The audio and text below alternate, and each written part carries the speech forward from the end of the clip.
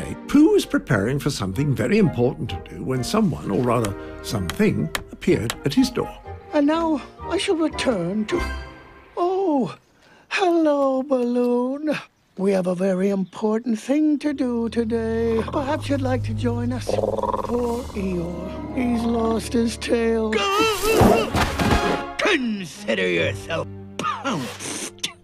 This guy, and I'm talking to you, he was sneaking upon you. You, oh, oh, a slippery little devil, eh? Get back there! Oh, no, you don't! I'm coming!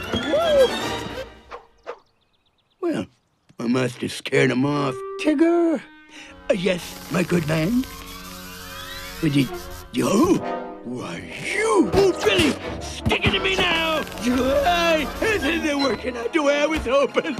Get him off of me. Is he still there? Oh, yes. He's still here. And I think he wants to stick with you. What? I never thought of having a sidekick before. He's a handsome devil, huh? No, no, no. I can't do it, I tell you, it's too risky. Why, if something were to happen to this little guy, I, I just couldn't live with myself.